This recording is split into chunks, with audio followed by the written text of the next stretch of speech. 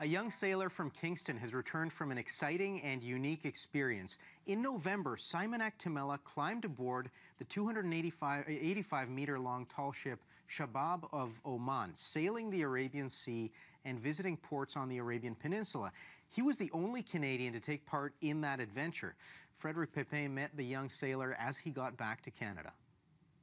All these boats are taken out for the winter. Born in Nunavut, Saimaniq Temela moved to Kingston at age nine. Through the Native Friendship Center, he joined the sail training program aboard this tall ship, the St. Lawrence II in Kingston, at age 12. Sailing quickly became his passion, but never would he have thought that now, at age 17, he would be sailing the Arabian Sea. I was a little skeptical to go because I've never traveled before, really.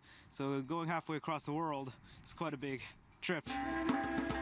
His adventure started in Muscat, the capital of Oman, in the Middle East. There, he climbed aboard the Shabab of Oman tall ship and visited ports on the Arabian Peninsula. I was just amazed by like the ship itself because it's a 285 foot ship, over 150 feet tall. So you go from a little yeah. ship to three times that. 15 sailors from across the world participated in this initiative, organized by the Sultanate of Oman, the Oman Navy, and Sail Training International. Um, we went to the desert desert in Oman and we got to go camel riding. The experience was obviously a once in a lifetime, truly amazing experience because I was just a kid sailing during the summer. Christopher Chafe is the director of the Kingston Sail Program. There was no hesitation at all that he would be a really great representative for not only the St. Lawrence II um, and our program, but, but Canada. Sail Training International is considering the possibility of organizing these types of adventures once a year in different parts of the globe